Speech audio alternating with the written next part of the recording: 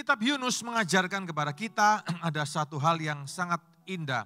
Ya hari ini kita bicara soal mandat budaya. Apa itu mandat budaya bagi kita saudara? Ya tema pada sepanjang hari ini. Mari kita buka dulu deh bersama-sama dalam kitab Yunus. Buka Alkitab kita sama-sama Yunus pasal yang keempat langsung ya. Yunus ini adalah seorang nabi yang agak aneh, agak unik saudara. Karena uh, perilakunya ya kalau Nabi itu kan dulu ya, dulu ya, zaman perjanjian lama ketika dia mau dia meng, mengabarkan satu pesan gitu kan, uh, pingin semua orang bertobat. Betul ya? Normalnya kan gitu saudara, ya kan? Kalau katakan KKR begitu ya, mana ada orang khotbah KKR pasti pingin semuanya bertobat yang belum terima Yesus. Ya mana ada uh, pengkhotbah KKR gitu tapi nggak mau ya, ya kalau bisa nggak bertobat semua kan nggak ada yang begitu saudara. Ya. Yunus ini aneh, ya dia ini aneh kenapa? Karena dia ketika orang bertobat dia malah marah, ya kan? Dia malah jengkel begitu ya. Kenapa saudara? Ada sesuatu di sana. Kenapa? Karena dia tidak mau pergi ke Niniwe. Ya, dia tidak mau pergi ke Asyur itu, ibu kota kerajaan Asyur itu Niniwe. Ya, sekarang tuh ada di Irak sana saudara. Ya, dia nggak mau pergi ke sana. Kenapa? Karena bangsa Asyur ini adalah bangsa yang jahat, yang telah menjajah bangsa Israel dan perlakuannya sangat kejam. Dia nggak mau ke sana, dia marah.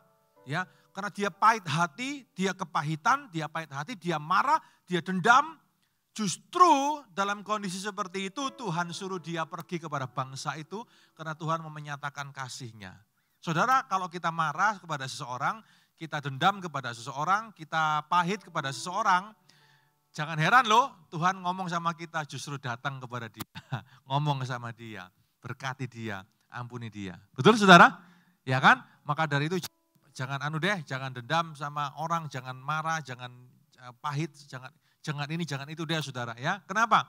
Karena biasanya cara Tuhan untuk mengajar atau mendidik kita adalah untuk menyuruh kita pergi kepada orang itu. Ya, pergi kepada orang itu dan untuk menyatakan menyatakan kasih Tuhan. Seperti itu juga Yunus hari itu. Dia marah dengan perlakuan yang kejam ini. Ya, maka dia, kenapa Tuhan suruh dia justru karena kamu kepahitan, justru karena kamu marah, justru karena kamu dendam, sekarang pergi ke Niniwe. Karena aku mau menyatakan rencanaku, karena aku juga mengasihi bangsa itu. Dia suruh pergi, Tuhan suruh pergi Yunus pergi ke Niniwe, saudara. Dan benar, ya kan, ketika Yunus berkhotbah, Niniwe menyambut pesan itu dan kemudian bertobat saudara. Terjadi pertobatan massal di Niniwe. Ya, terjadi pertobatan massal bahkan bang apa namanya rakyatnya rajanya berpuasa bahkan ternaknya sendiri disuruh berpuasa saudara. Itu kan sudah radikal betul pertobatannya. Betul saudara? Kalau saudara berpuasa masa saudara suruh anjing saudara puasa juga? Enggak kan saudara ya kan? Ya tuannya yang puasa kan anjingnya enggak puasa. Ini anjingnya disuruh puasa kucingnya suruh puasa apa namanya sapinya disuruh puasa. Semuanya berpuasa. Saking radikalnya pertobatan itu marahlah Yunus. Ya, dia marah betul Saudara, dia tersinggung betul. Ini orang antik ya. Pasal 4. Ya, pasal 4 Saudara. Dikatakan seperti ini. Belas kasih Tuhan melampaui kepicikan Yunus. Tetapi hal itu membuat Yunus sangat gusar dan marah. Oke, terjemahannya mungkin agak sedikit beda. Jadi saya baca yang terjemahan baru kedua saudara ya. Yunus ini dibuat marah dan gusar katanya. Lalu ia berdoa kepada Tuhan, ya Tuhan, bukankah hal ini telah kukatakan ketika aku masih di negeri di negeriku? Itu sebabnya aku dahulu melarikan diri ke Tarsis. Sebab aku tahu bahwa engkau Allah yang pengasih, penyayang, panjang sabar, berlimpah kasih setia. Serta yang menyesal malapetaka yang hendak didatangkannya. Sekarang ya Tuhan, ambillah kiranya nyawaku karena lebih baik aku mati daripada hidup gondok saudara, merajuk. Oke, dia marah, dia minta mati saja. Ya kan, mati saja, mati saja, mati saja. Ada yang marah mintanya begitu saudara? Ada Bapak Ibu? Ya, kok lagi marah begitu ya ngomongin sama Tuhan, Tuhan aku mati ya, mati ya. Ada yang suka ngomong begitu saudara? Hati-hati loh kalau jawab Tuhan betulan loh saudara. Ya, hati-hati ya. Dia minta mati. Lalu ngomong apa Tuhan? Ayat 4 saudara, tetapi firman Tuhan Yunus, patutkah engkau marah? Layakkah engkau marah? Yunus keluar dari kota itu lalu duduk di sebelah timurnya. Di situ ia mendirikan sebuah pondok dan duduk di bawah naungannya. Melihat apa yang akan terjadi atas kota itu. Atas penentuan Tuhan Allah, tumbuhlah sebatang pohon jarak melampaui kepala Yunus dan menaunginya agar ia lepas dari kegusaran hatinya. Lucu ya, cara Tuhan memperlakukan Yunus saudara. Yunus sangat bersuka cita karena pohon jarak itu. Pohon jarak itu enggak, enggak tinggi, pohon jarak itu pendek. Yunus ini orang yang orang yang pendek. Ya, lihat saudara, Yunus ini orang yang pendek, Tuhan tumbuhkan pohon jarak yang sedikit lebih tinggi dari dia untuk menaungi dia sehingga di panas yang terik itu dia kedingi, kedinginan. Ya, lihat Bapak Ibu Saudara bagaimana cara Tuhan untuk memperlakukan Yunus. Ya, cara Tuhan untuk mendidik Yunus. Aneh ya, agak kekanak-kanaan ya menurut saya, betul nggak Saudara? Ya kan? Kok rasanya agak agak kekanak-kanaan? Ya karena memang begitulah cara Tuhan memperlakukan Yunus. Kenapa?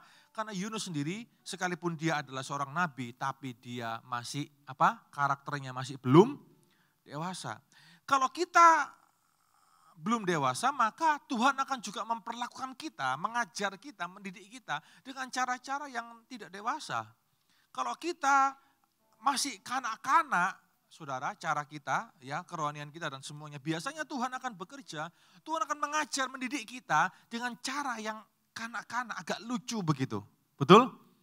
Ya, maka dari itu kita harus tahu satu hal, ya bahwa kita harus terus bertumbuh di dalam pengiringan kita akan Tuhan dalam kedewasaan kita. Tetapi keesokan harinya ketika Fajar menyingsing atas penentuan Allah, datanglah seekor ulat yang menggerogoti pohon jarak itu sehingga layu. Ketika matahari terbit atas penentuan Allah, bertiuplah angin timur yang panas dan sinar matahari menyengat kepala Yunus sehingga ia rebah tak berdaya. Lalu ia minta mati lagi saudara. Katanya, lebih baik aku mati daripada hidup. Lalu firman Tuhan datang kepada Yunus, patutkah engkau marah karena pohon jarak itu? Jawabnya, ya selayaknya lah aku marah sampai mati. Waduh saudara, betul-betul ya. Nah ini dia saudara, minta marah, dia marah sampai minta mati. Ini cara kekanak-kanakan betul. Ya, respon Yunus ternyata masih kekanak-kanaan. Ya, saking begitunya, sebegitunya Yunus itu Bapak Ibu, sehingga Tuhan mengajarkan sesuatu lewat sebuah hal yang sangat-sangat sili. Apa itu sili? Ya, sangat lucu. Ya, sili banget, ya lucu banget.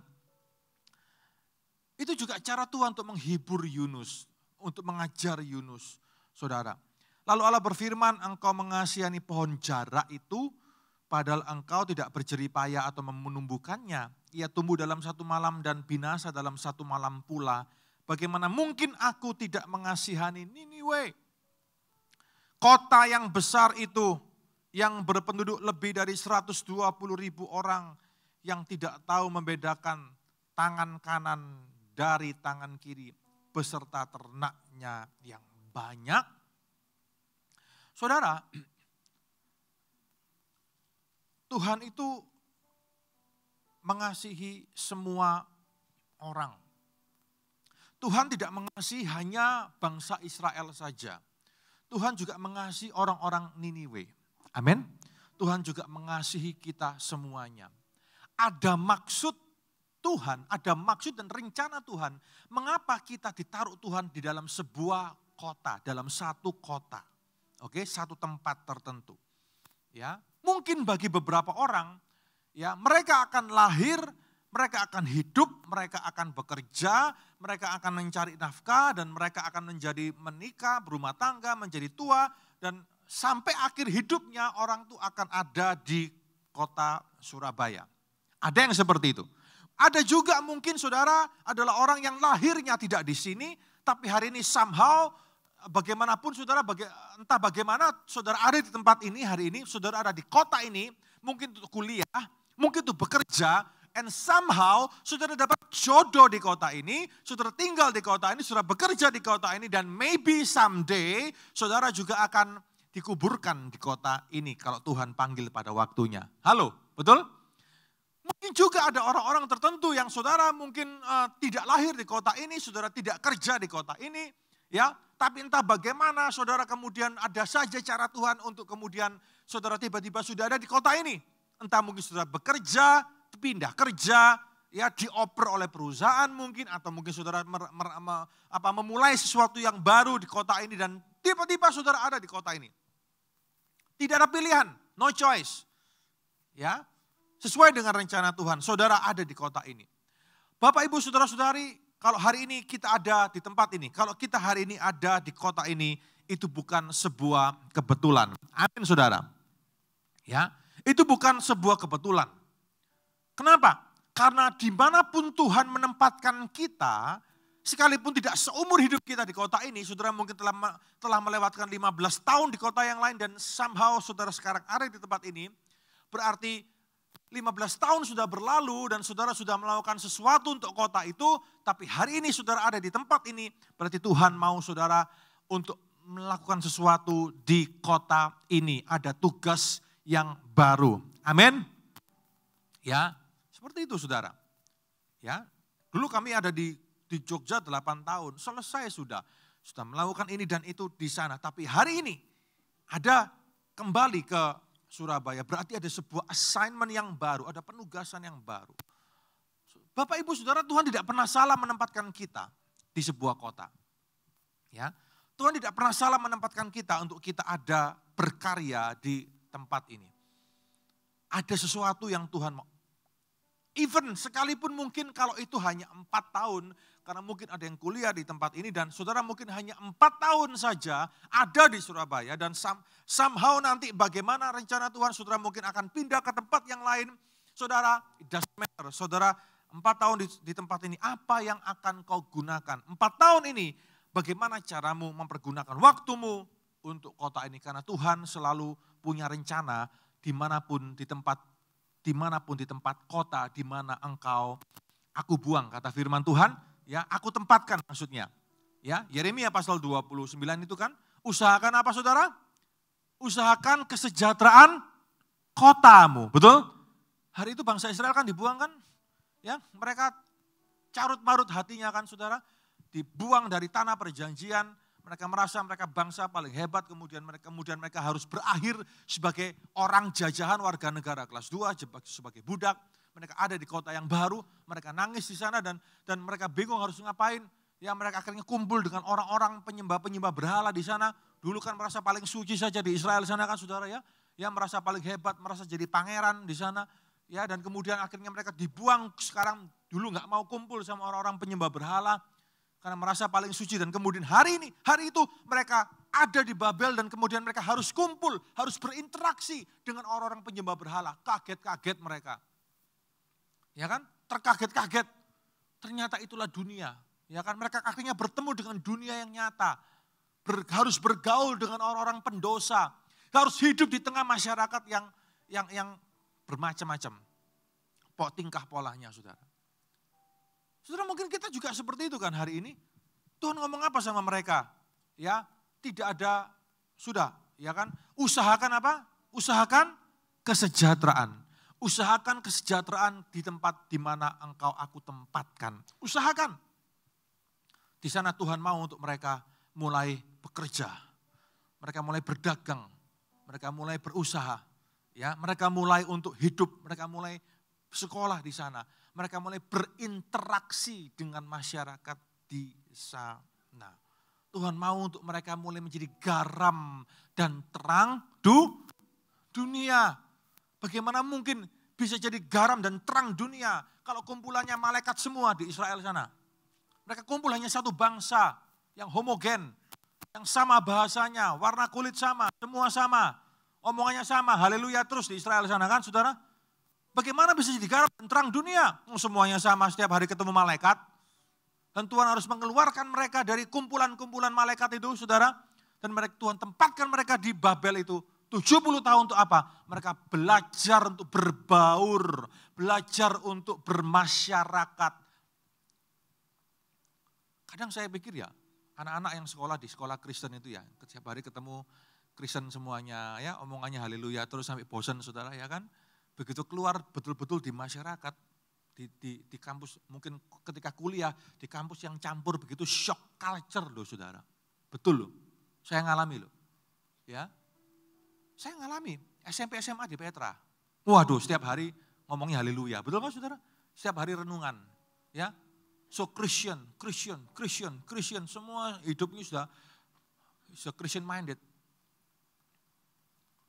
Begitu selesai sekolah, begitu selesai eh, SMA, kemudian bertemu dengan dunia. Saya shock loh saudara, betul. Shock culture betul loh.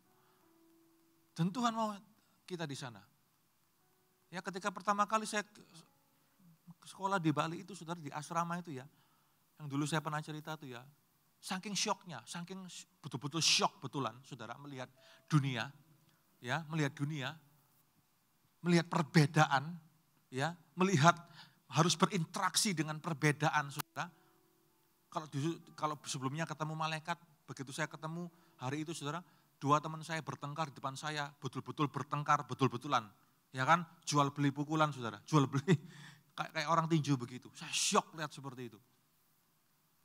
Satu minggu itu, ya, satu minggu saya turun 7, 7 8 kilo berat badan saya, saking shocknya, stresnya, saudara, karena melihat dunia. Saya masih ingat, saya lucu itu. Ya kan? Saya timbang berat badan saya setelah satu minggu itu saudara di, di sekolah itu sudah turun 7 sampai 8 kilo awal. Saking stresnya, saking shocknya kumpul sama yang baru-baru ini. Tapi Tuhan harus lakukan itu supaya belajar melihat dunia. Supaya belajar berinteraksi dengan dunia. Tuhan akan tempatkan kita ketemu setiap hari dengan orang-orang saya tidak ngomong iblis tapi bukan malaikat. Betul. Ya. Tuhan akan tempatkan kita, Bapak Ibu Saudara akan tempat, Tuhan akan tempatkan, Tuhan akan Tuhan akan temukan saudara semuanya dengan orang-orang yang betul-betul menjadi realita dunia. Pembohong mungkin, ya kan, koruptor mungkin, saudara akan ketemu dan berinteraksi dengan orang-orang semacam itu, manipulator mungkin, yang suka main nota, yang suka manipulasi nota, mungkin teman saudara, Ya kan, saudara akan ditempatkan orang-orang yang suka ya sikat kanan, sikat kiri, cuan kanan, cuan kiri dengan cara yang nggak benar, saudara. Saudara akan ditempatkan ketemu dengan orang-orang yang yang licik, ya kan, yang cara dagangnya licik, ya kan, yang hitam betul, saudara. Saudara akan ketemu dengan tiba-tiba saudara harus ada dalam sebuah lingkungan yang di mana isinya adalah orang-orang yang punya si punya simpanan, saudara, ya kan, ya bukan simpanan di bank maksudnya, ya kan, simpanan di apartemen maksudnya, ya kan, Biasanya kan begitu saudara, disimpannya di sana. Ya, Sudah akan ketemu lihat realita dunia. Dan tiba-tiba mungkin sudah shock begitu ya. Kaget saudara, kenapa? Wah, sudah akan mulai sudah akan kebingungan bagaimana cara menjadi anak Tuhan di tengah-tengah situasi yang seperti itu. Di tengah situasi, di tengah realita yang yang sedang saudara hadapi hari ini, hari-hari itu. Saudara, di sanalah memang Tuhan menempatkan kita. Dan Yunus itu kaget, nggak siap dengan itu. Tapi kalau kita mau ngomong bahwa kita mau jadi garam dan terang dunia, kalau kita betul-betul mau bicara bahwa kita menjadi mandat, kita memegang mandat budaya daripada Tuhan untuk dunia kita, masyarakat kita, maka kita harus mampu di tengah orang-orang seperti itu tanpa kita harus tercemar. Halo? Kita adalah domba di tengah serigala. Saya khawatir kebalik ngomong aja ya. Domba di tengah serigala. Bagaimana domba ini harus ada di tengah serigala itu? Apa yang harus kita lakukan di tengah-tengah seperti itu? Saudara, ya seorang bapak gereja namanya Agustinus ya, dia uh, dia tulis sebuah buku namanya judulnya Kota Allah, The Civita Dei. Dia ngomong seperti ini sudah dua kota katanya ya kan. Satu kota Allah, satu kota setan katanya. Ini sebuah perumpamaan. Ya, keduanya saling berkonflik satu dengan yang lainnya. Ada konflik di sana. Kota Allah itu maksudnya kita, anak-anak Tuhan, ya kan? Kota setan itu menurut dia maksudnya adalah orang-orang yang masih ter, terikat, orang-orang yang masih dikuasai oleh roh jahat. Dua-duanya ini seolah-olah saling berkonflik satu dengan yang lainnya, saling tarik menarik kuat-kuatan satu dengan yang lainnya. Ada benteng pertahanan setan katanya, terus menerus menolak penyebaran Injil, mendorong ketidakadilan katanya saudara. Ya, dia ngomong seperti itu dalam bukunya. Nah Bapak Ibu Saudara-saudari dalam cerita Yunus ini kita bisa mengerti satu hal. Bahwa itulah realita yang Yunus selama ini tidak tidak bisa menerima, tidak bisa mengerti, memahami. Dia tidak mau menjadi garam dan terang dunia di tempat yang gelap. Terang itu baru baru baru bisa jadi terang kalau dia ada di tengah kegelapan. Betul saudara? Kalau lampu semua ini dimatiin, ini akan jadi gelap. Betul? Akan jadi gelap. Bagaimana kita tahu itu terang? Ketika terang itu ada di dalam kegelapan. Terang tidak akan bisa kita sebut terang kalau dia ada di antara terang. Halo? Betul? Terang barusan bisa kita sebut sebagai terang kalau dia ada di dalam kegelah, kegelapan. Itulah mengapa Yesus ngomong aku tuh ada untuk masuk ke dunia bukan untuk di luar dunia. Itulah mengapa kita tidak masuk semuanya ke dalam biara, saudara, memisahkan diri dari dunia. Enggak, Tuhan tidak panggil kita masuk ke dalam biara. Tuhan panggil kita untuk kita keluar dari biara kita. Halo? Ya, seminggu sekali kita masuk ke biara kita di sini, saudara. Tapi setelah itu Tuhan mau kita keluar menjadi garam dan terang dunia di luar. Di luar. Menggarami itu di luar. Ya saudara, menggarami itu di luar, bukan menggarami di di dalam. Terlalu banyak garam di dalam, akhirnya darah tinggi, saudara. Betul? Ya kan kita menggarami di, di tempat yang salah. Ya, menggarami di tempat yang salah. Menggarami siapa belum? Menggarami kok saudara seiman. Salah saudara, ya. Semuanya sudah penuh dengan garam, ditambah garam lagi, bodrik semuanya kan saudara ya. Ya kan? Darah tinggi semuanya. Itulah mengapa konflik terus di gereja. Kenapa? Karena garam, sudah banyak garam digarami. Akhirnya tensinya tinggi semuanya. Betul saudara? Ya kan itu loh makanya kenapa banyak orang Kristen salah. Ya kan menggarami bukan di dalam gereja. Menggarami itu di luar gereja. Bapak ibu saudara saudari diutus di luar gereja. Anda tidak diutus di dalam gereja. Bukan berarti pelayanan tidak penting loh ya. Penting. Pelayanan penting. Pelayanan di dalam gereja penting. Ya. Kegiatan di dalam gereja penting. Iya. Itu semuanya untuk memperlengkapi kita. Tapi endingnya apa? Ujung-ujungnya apa? Ujung-ujungnya harus apa saudara? Ke keluar. Karena Tuhan firm apa namanya amanat agung berkata kepada kita apa? Pergilah. Keluarlah berarti kan? Pergilah. Bukan datanglah masuk, bukan. Oke, pergilah. Bukan datanglah, enggak, pergi. Setelah datang, saudara diperlengkapi tetap tetap akhirnya apa? Per, pergi pergi, pergi kepada dunia. Jadilah garam dan terang dunia. Di mana? Di keluarga besar saudara, yang kacau balau itu mungkin. ya, Yang belum kenal Tuhan. Yang kalau ketemu omongannya itu sudah kacau. Saudara, saudara dipanggil di sana. Dipanggil kepada keluarga besarmu, keluargamu. Untuk menggarami dan menerangi. Ya, bukan tambah mengacaukan. Begitu ada keberadaan, ada keluarga besar kacau, ada saudara tambah kacau. Itu berarti tidak menggarami, tidak menerangi saudara. Amin. Ya, saudara ingat saudara pegang mandat ini. Di dalam keluarga, mana lagi? Di kantor saudara mungkin, di pekerjaan, di masyarakat, di mana pun, di mana pun kita berada, Tuhan panggil kita untuk keluar, menggarami di luar. Gara-gara ada kita, keluarga besar kita jadi lebih baik. Halo, gara-gara ada kita. Kalau tadinya mau pecah, gara-gara ada kita. Jadi apa? Raket kembali, disembuhkan kembali. Bukan gara-gara ada kita malah tambah pecah. Itulah panggilan setiap kita, Bapak, Ibu, Saudara-saudari. Inilah mandat yang Tuhan tempatkan untuk kita. Ya, inilah mandat yang Tuhan tempatkan untuk kita. Seperti Yunus, dia tidak bisa memahami bahwa Tuhan panggil dia untuk keluar bukan lagi di bangsanya, tapi kepada bangsa lain yang yang yang dia marah, yang dia pahit itu. Tapi dia tidak tidak, tidak bisa memahami panggilan Tuhan, mandat budaya yang Tuhan tetapkan bagi dia. Aneh orang ini, tapi itulah faktanya. Kenapa ayat ini, cerita ini ada di Alkitab untuk menjadi sebuah pelajaran bagi kita, saudara.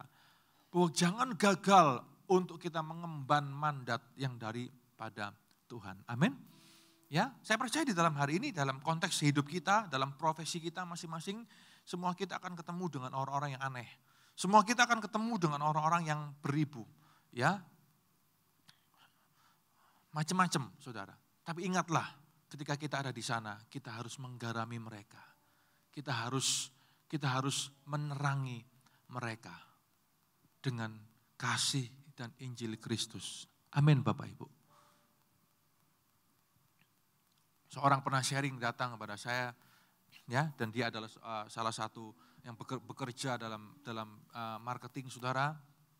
Yang dia cerita ketika dia ada di dalam uh, bersama dengan teman-teman-temannya, ya, kalau ketemu gitu ya, kalau ketemu bersama-sama dalam satu tim, ya sambil makan, sambil hangout saudara ya, dan ceritakan macam-macam, enggak cuma cerita pekerjaan, ya kan, mulai cerita kehidupan, ya, dan dia cerita di sana saudara, dengan bangganya beberapa temannya ini ya kan uh, uh, mendewakan gaya hidup hedonnya dalam tanda kutip.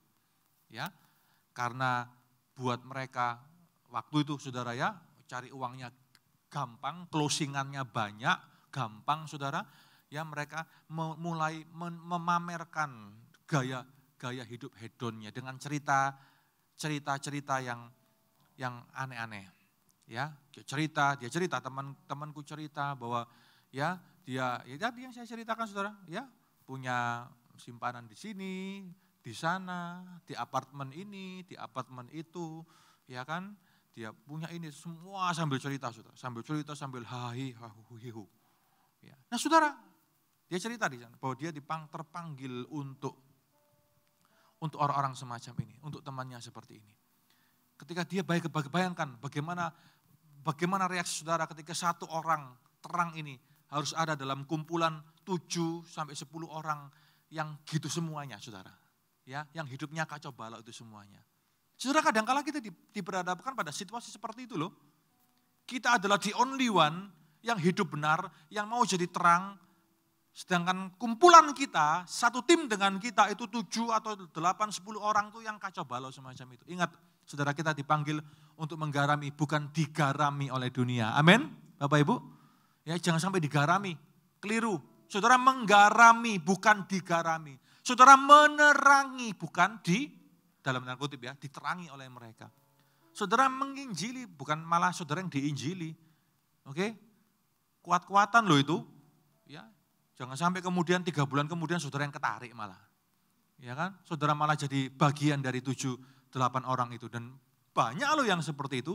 Ketika gagal menerangi, gagal menggarami, akhirnya malah ketarik. Saudara tahu nggak kita tuh dihadapkan dengan situasi yang real semacam itu. Di sanalah kita harus berdiri dengan kekuatan yang daripada Tuhan. Untuk kita membawa shalom bagi mereka, membawa damai sejahtera, mengubahkan situasi yang semacam itu. Amin Bapak Ibu. Hari ini saudara harus tahu panggilan saudara. Saudara harus tahu jati diri saudara sebagai pembawa mandat budaya, membawa garam dan terang dunia di dalam situasi yang tidak menentu semacam itu, di dalam situasi yang yang kacau semacam itu. Kadang tidak mudah, ya memang kadang tidak mudah. Kadang tidak mudah. Dimusuhi itu adalah sebuah resiko. Tapi saudara tidak bisa mengkompromikan kebenaran firman Tuhan dengan hanya takut untuk dimusuhi. Takut untuk disingkirkan, takut untuk ini, takut untuk itu. Sama di mana-mana begitu. Entah saudara di pekerjaan, entah saudara ada di, di kampus mungkin, di sekolah mungkin. Ya kan saudara?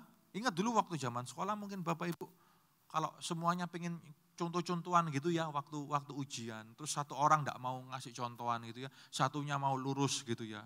Apa yang terjadi dengan satu orang ini saudara? Dimusuhin bukan? Iya kan? Dimusuhi kan? Sombong, dia, dia omong sombong, betul nggak? Ya kan? Tidak mau menolong, ya kan? Kadangkala dibalik itu saudara. Saya masih ingat saya dulu juga seperti itu. Diomong sombong, ya katanya Kristen nggak mau nolong. Ini yang benar yang mana sih? Betul nggak saudara? Kadang-kala kebenaran tuh bisa dibalik loh sama orang-orang zaman sekarang saudara. Ya hati-hati loh. Yang benar bisa jadi salah. Yang salah dianggap benar kebolak balik. Maka dari kalau Bapak Ibu tidak kuat di dalam firman, hati nuraninya enggak jalan. Akal sehat dan hati nurani, ini penting nih ya. Akal sehat dan hati nurani harus jalan dua-duanya. Saudara akan nanti kebingung loh. Dibolak orang sekarang jagonya bolak balik loh saudara. Yang benar dianggap salah, yang salah dianggap benar. Karena kebohongan itu ya, kebohongan kalau diulang-ulang terus jadi apa? Jadi kebenaran. Akhirnya kita bingung, ini yang benar mana, yang salah mana. Ketika itu terjadi, maka jawabannya ada di sini dan di sini. akal sehat dan hati gampang. Terus kita belajar dari pengalaman pemilu yang lalu. Yang benar jadi salah, salah jadi benar, semua pada ngomong kita nggak tahu bingung yang benar mana, salah mana. Betul saudara? Akhirnya balik ke sini. Karena Tuhan kasih kita conscience, Tuhan kasih kita hati nurani dan akal akal sehat. Ya, Bapak Ibu ya. Betul gitu kan? Ya, oh sombong, ya kan mentang-mentang Kristen nggak mau nolong. Katanya Kristen nggak mau nolong. Ini yang benar yang mana? Nolong ini benar. Lu salah kok ditolong. Lah kan begitu saudara. Sama nanti. Ya kan, wah sombong ya kan nggak mau ini, nggak mau ngentet sitik-sitik gitu kan, nggak mau korupsi gini. Ya, nggak mau nolong, bohong, nggak nggak jadi garam dunia. Loh, ini pinter orang orang tuh pinter loh, mempermainkan firman di bolak-balik. Saudara kan jadi bingung. Kalau saudara tidak tahu betul-betul berdiri di tengah kebenaran. Dalam situasi semacam itu jangan takut untuk dimusuhi.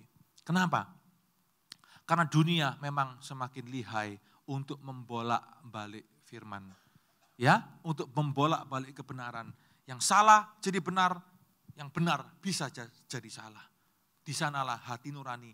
Ingat ini ya, hati nurani dan akal sehat kita yang berbicara. Amin Bapak Ibu. Ya, akal sehat, hati nurani yang berbicara. Saudara, maka kita harus membawa damai sejahtera dalam situasi semacam itu. Membawa damai, membawa shalom. Ya, membawa shalom. Untuk apa saudara? Untuk untuk semua. Dalam situasi yang tidak menentu semacam. Karena Tuhan panggil kita untuk kita membawa damai sejahtera bagi dia. Coba kita lihat Yeremia pasal 29 tadi. Yeremia pasal 29 ayat yang ketujuh. Yeremia pasal 29 ayat yang ketujuh.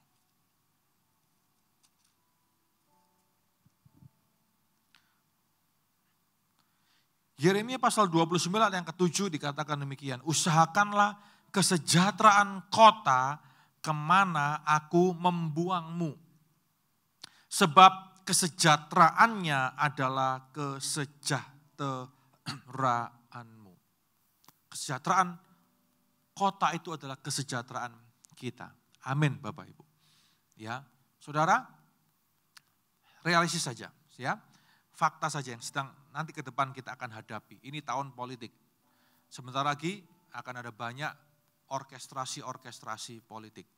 Kemarin saya dengar di radio, sudah tahun lima tahun yang lalu, gara-gara dalam satu keluarga beda pilihan, suami istri bisa bercerai. Bisa ya. Ternyata bisa, saudara. Ya, ini lucu ya, ini silly banget ya, ini konyol banget ya. Tapi ternyata ada yang seperti itu. Perceraian terjadi gara-gara beda pilihan. Menurut saya ini aneh banget, ini konyol banget. Tapi ada loh orang-orang konyol di dunia ini. Ada loh faktanya saudara. Ya kan, buat saudara mungkin konyol, tapi buat yang jalani itu bukan konyol, itu prinsipil banget mungkin. Ya, satunya pro ini, satunya pro ini akhirnya rela untuk bercerai saudara. Bapak Ibu saudara-saudari, ini adalah fakta yang sedang kita hadapi hari ini. Sebentar lagi. Kalau kita ada di kota ini, maka mau tidak mau apa yang terjadi di kota ini akan berpengaruh terhadap kehidupan kita semuanya. Ya, saudara, oleh karena itu hari ini mari kita terus memberikan shalom. Kita kita kita mengusahakan damai sejahtera atas kota ini. Amin. Ya, di mana pun, ya, apa pun, saudara, saudara harus menerangi, menerangi, menerangi, menerangi, menerangi ya menerangi dunia, menerangi menerangi apa yang ada di di di sekitar kita. Ya, menerangi, menerangilah. Seorang datang, saudara, dua, dua tiga minggu yang lalu, datang dan kemudian dia ngomong, dia mau dia mau mencoba peruntungan untuk masuk ke dalam salah satu partai, ya, karena sebentar lagi ada pendaftaran caleg kira-kira begitu, ya, datang dan kemudian minta pendapat kepada saya bagaimana. Ya kira-kira bagaimana. Lah ini saudara, ya kan?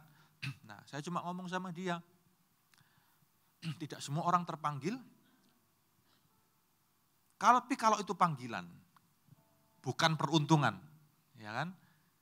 Kalau kamu cuma masuk-masuk, coba-coba, wis percaya, oh, gagal. You don't have vision, you don't have mission. Ya, tidak punya visi, tidak punya misi, hanya peruntungan. Lebih baik kalau menurut saya batalkan niatmu. Kenapa? Karena itu dunia, kalau tanpa panggilan Tuhan, kamu akan tergilas di dalamnya. Tapi kalau betul-betul panggilan yang datang dari Tuhan, maka kamu harus membuat perbedaan. Kamu harus membuat perbedaan di dalamnya.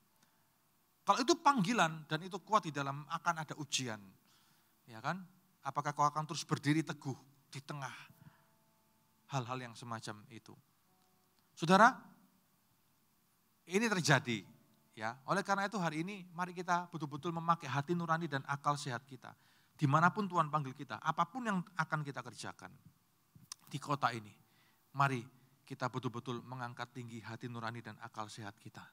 Amin saudara. Ya, akal sehat kita dan hati nurani kita untuk menentukan segala sesuatu. Mari kita jadi berkat, jadi garam dan terang dunia di kota di mana Tuhan panggil kita semuanya.